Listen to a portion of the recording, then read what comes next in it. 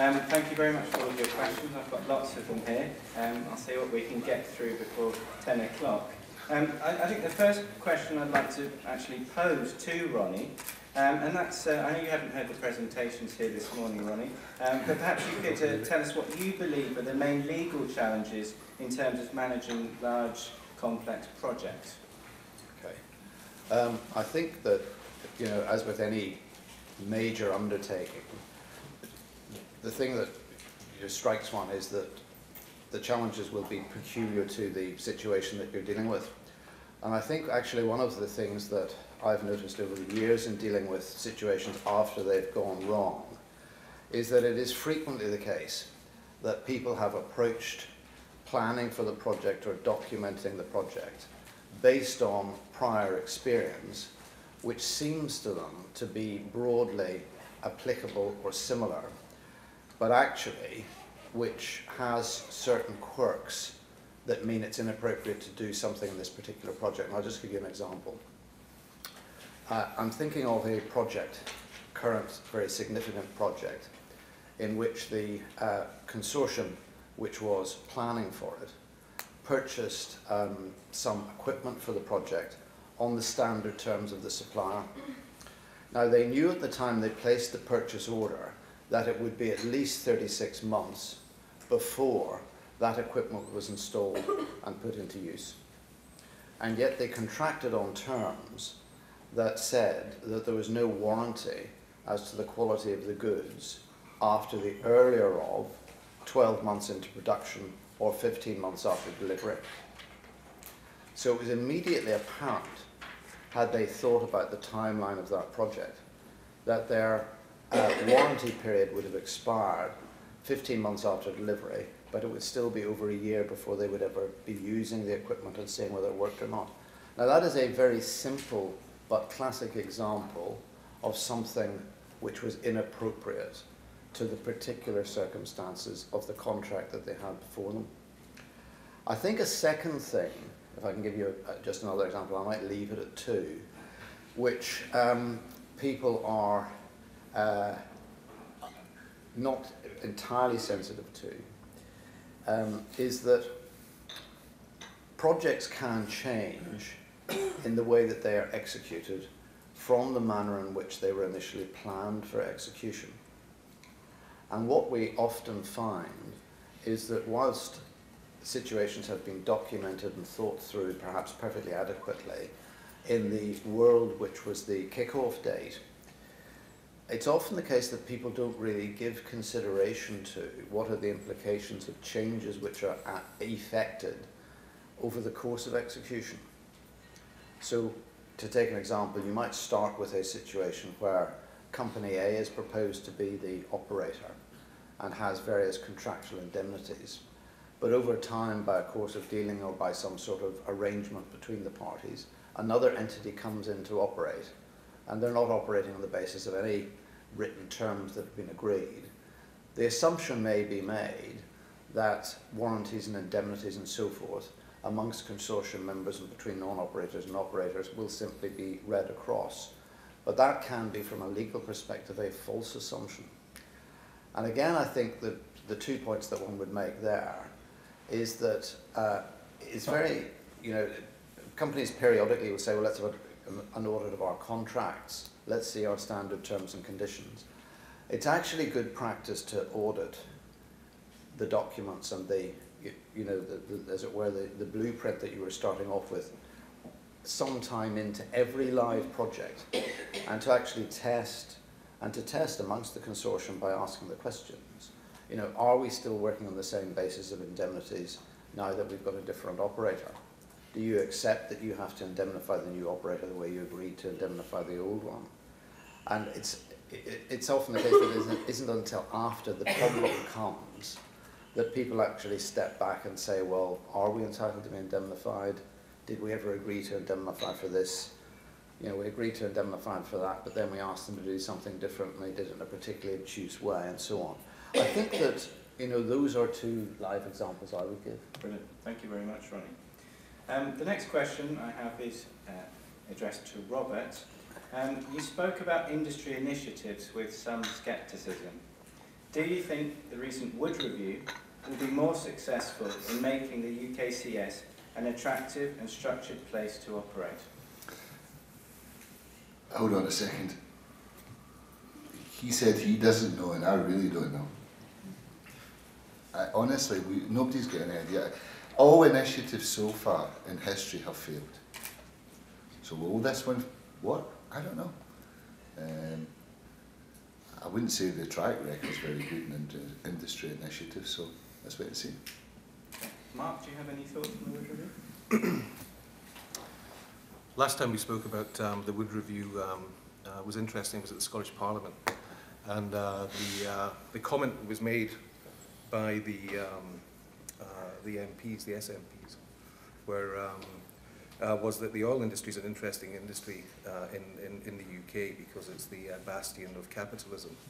So the question I have is if it's the bastion of capitalism, then uh, this, this socialistic aspect of collaboration might not work um, in the manner that everybody thinks it might. So, uh, so yeah, so I think it's, a, it, you know, it's worthwhile, I think, pursuing the concept. Uh, whether it actually ever comes to fruition or not, I don't know. So, Okay, thank you very much. Um, so the next question is, what can be done to improve contractor-operator relationships, and what are the main reasons for differing views? And I'd like to go to Rob on this. I don't know. I, I personally think three bottles of gin helps an awful lot. um, apart from that, I mean, we've got to find a position where we can actually get aligned on our objectives. I mean, I think we've got to understand they're trying to make money on my back, and I'm trying to make sure that the least amount they make the least amount of money. So I think we've got to come to a point where I, I would like to try a sort of risk-based contractual model, uh, which is nobody's ever tried before that I'm aware of, where we actually engage with our contractors and find out how they perceive their risks in bidding for a job, and actually try to tailor the contractual model and take into account their risks. Um, and, see which risks we're both best placed to deal with. I mean, I would never ask a contractor in the UK or even worldwide to run a rotating equipment contract because quite simply they don't know what they're doing. Um, they're specialist people who do know what they're doing. Um, I would be I would be more comfortable in running that with my own project team than I would be giving it to one of the major contractors in the UK. So I think I think it's about dialogue and honesty. Uh, the question is, uh, I'm prepared to be honest, but is everybody else round about the table prepared to be honest too? Okay, Ronnie, would you like to give a perhaps a legal perspective on that question? Uh, well, I think um, allocation of risk is um, an allocation of risk is interesting in a commercial context because the, the law starts from the proposition that if somebody causes harm, they should compensate for it, and that's a very deeply ingrained attitude in our judiciary. And I think it's wise for those who are taking indemnities or exclusions of liability to be aware of it. That when cases get before judges, there is an extraordinary propensity for the judge to want to hammer the person whose negligence or breach of contract has caused harm and loss, and to read narrowly any provisions which are excluding liability for that. Um, one thing I, you know, uh, do wonder about is whether people are making the best use of the insurance options which are available and the other options to lay off risk. I can see that in certain contexts the lack of proportionality between the reward and the potential damage caused has led in certain types of contracting situations to quite limited uh, absorption of risk by the provider of services. I think where those situations arise, it is uh, really, really important that the employer, the, the organisation that is bringing the contractor in, keeps a very close eye on what is going on and really makes sure that the contract is structured in such a way that optimises the chances that this will be accurately performed because otherwise the losses will fall back on the employer. I don't think beyond that I've got particular insights, but I, am interested and I don't know what the, the, the other panellists feel about the extent to which contractors are prepared to absorb risk and whether the balance is, shifts a lot depending on the economics at any particular time. Mark, would you like to say something? I'm not sure I can answer your question. uh, what we see in our world, at least, um, uh, what we see in terms of uh, client-contractor relationships is that um, quite often there's a, um, there's a perception that, uh, especially on a lump sum contract or a turnkey fixed price type contract, that the contractor has some kind of, um, they'll protect our, our interests perspective, some kind of quasi fiduciary, uh, which of course it generally isn't the case in a contract agreement. Um, on the flip side of that, from a behavioural perspective, quite often what we see is that the starting point of the project team from the, the client rather than the contractor, is the belief that the contractor is out to shaft them from the very beginning, which isn't a very good starting point in some kind of an agreement. Um, the third point is that normally on, on the top of a contract, uh, uh, it says it, there's the word agreement, but quite often um, it's normally used as a disagreement. And, uh, uh, and that normally, uh, from a behavioural perspective, falls back down onto a tick box behaviour that we observe across the industry, not just in the UK but elsewhere as well, which is after signing the contract um, and spending a lot of time and a lot of money negotiating a very large, sometimes complicated agreement, um, it's then put on the shelf and only dusted off when, um, when there's a disagreement around the place. So there's this, again, there's this sort of behavioural aspect that comes in um, and a focus aspect which, uh, which often leads to issues uh, and, uh, and relationship issues between contractor and, uh, uh, and the, um, the project sponsoring organisation. So, yeah, but that's what we observe. Th- Just one other, uh, I think, observation that I've heard from uh, some large organisations that provide contracting services. A lot depends on the quality of the individuals who are pricing the jobs that they're bidding for. And I'm told that there can become generational issues where uh, there can be a sort of cadre of individuals within a number of companies who are highly experienced and actually are very good at pricing jobs. They can then be handing over to much less experienced people. And for a period of time, it is very much hit and miss whether the contractors are pricing the jobs properly. Um, a lot of the situations which we see going wrong are ones where there has been simply a significant mistake at, made at the pricing level. And the employer has in fact obtained an offer that he's accepted which was much too low. And that leads, I think, to a lot of friction. I think the other things that can lead to friction uh, are the inability often between contractor and employer to deal in a mature way with unforeseen circumstances. I'm thinking of one particular project in the Middle East at the moment, uh, a sort of trophy project. We're talking about two or three trophy projects in the Middle East, but one in particular I'm thinking about, where a road is to be driven through the capital of uh, one of the, um, the states out there. And the uh, authorities in the state are under a lot of political pressure locally because works have you know, gone at a snail's pace. Um, the reality is that the ground conditions which have been encountered were very significantly different from those which were anticipated between the employer and the contractor. But because um, you know the parliamentarians are on the back of the officials who have placed the contract, there's actually a serious impasse has developed, which you know, any common sense observer would say, you know, there's got to be an arrangement whereby the employer recognises that there has to be an accommodation to the ground conditions. There's no point in saying that your delay damages are now you know three times your balance sheet and that's the you know that's the NDU. That doesn't actually get people anywhere. So I think the the inability to think and respond constructively where there is genuinely a seriously unforeseen circumstance, I think is another, another major another major problem. Okay, thank you. I've got Mark question mark, so I don't know if you're going to be able to answer this question, but I'm sure you will be able to. It says, how important is fiscal stability in a drilling environment, and what do you see happening over the next year? Ah, two questions in one. Yeah. How important is fiscal stability in a drilling environment? Um, not. I don't think. It, I don't think it's ab absolutely important. The um, the uh, uh, what we see across the the drilling industry is that um, uh, the rise of smaller, more focused drilling contractors that may not have uh, um, that may that, that are basically opportunistic, driving into the deeper water markets. The um, uh, the uh, you know that aren't necessarily as well capitalized as um, uh, as the larger ones. The um, uh, it's a I suppose it's a difficult question to answer. uh, fiscal, fiscal, with the, from a fiscal stability perspective. In terms of uh, the second question, what do we see happening over the next year or so? Um, well, you know, the industry, the big question we have at the moment is um, we're wondering whether or not the drilling contractors are talking themselves into a, a rates drop right now. It's almost becoming a self-fulfilling prophecy for them. The, um, everybody's talking about rate softening, whereas in actual fact the trend seems to be that um, the day rates are increasing for drilling rigs. Um, we're seeing softening in certain areas and certain types of rigs, certain types of um, uh, um, drilling contracts. But um, but generally across the industry, the rates are still on decline. So, uh, so what do we see in the next year or so? Well, we see that there was a recent announcement of, by a couple of companies in terms of uh, um, know, we're no longer going to be speculative building. So I think there'll be a, be a slowdown there.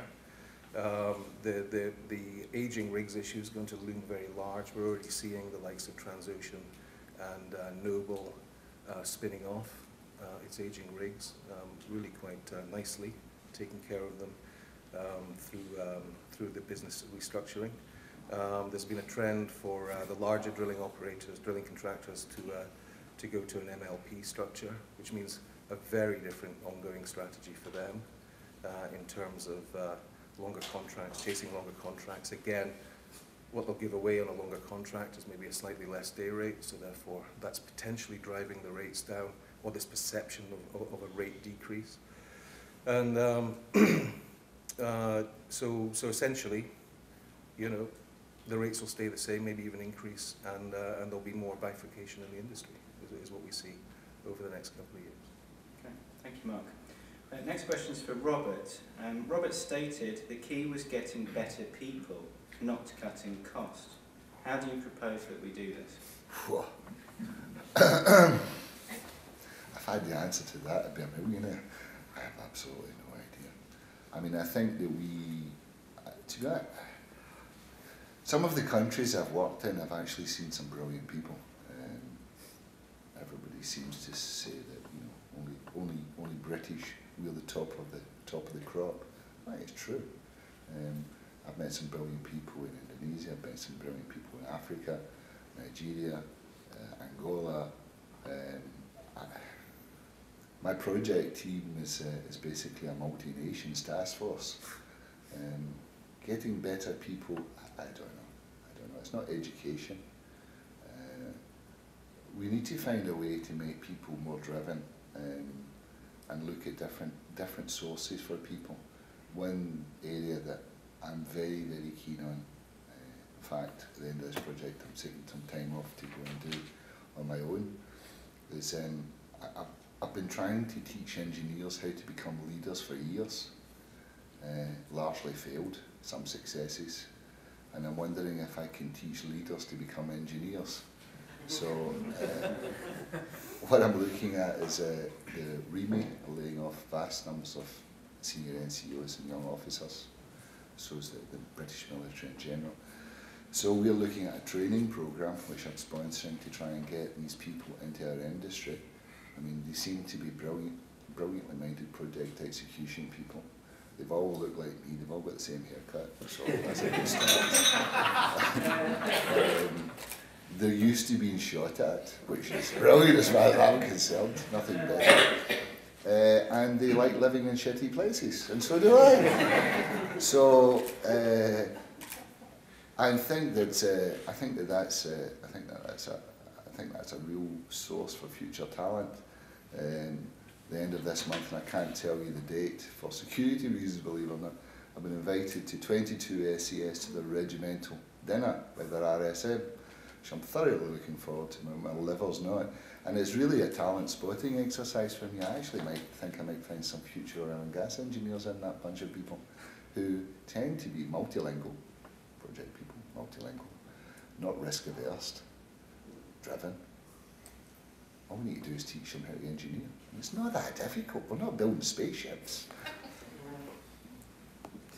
Mark, any final thoughts on that question? Um, yeah, uh, you know, I am one of those people. Oh, really? So, uh, I did notice with the haircut. the um, no, absolutely. I think I think the military do, do um, uh, does present um, uh, a good source of uh, uh, of potential uh, people coming in, uh, there are some interesting um, challenges, I think, uh, in terms of uh, uh, institutionalization and that sort of thing, which were very keen on my mind when I left the military and came into the oil and gas business.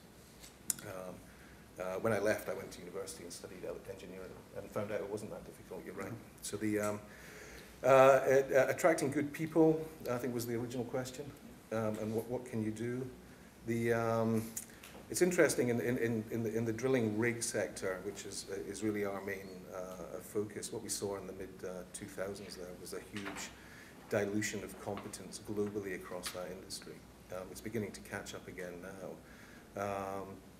It tends to correct itself over time, um, but what happened was there was a, um, uh, everybody says that, uh, you know, the majority of people in the drilling side of the business are all grey-haired and bald and fat and middle-aged and, and, and that kind of thing. It's an old part of the business.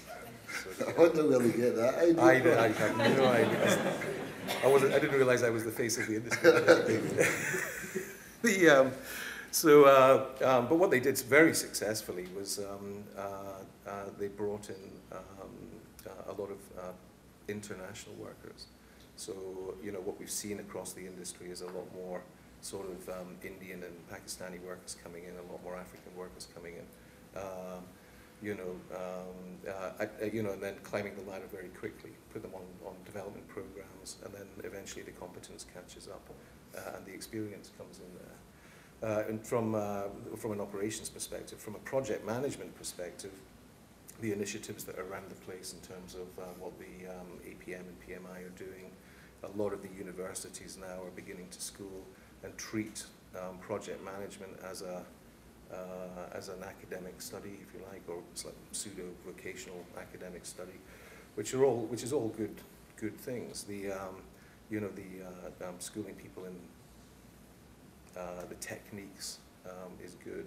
Uh, the big thing about projects, of course, is that um, you know you really, you know, get your stripes from uh, from experiencing them and living them, and, and, and actually living through the failures, and actually finally learning from that. So potentially there are two, two aspects. Of how do you get good people? First, you need people. You know, Robbie, you seem to have some ideas around that.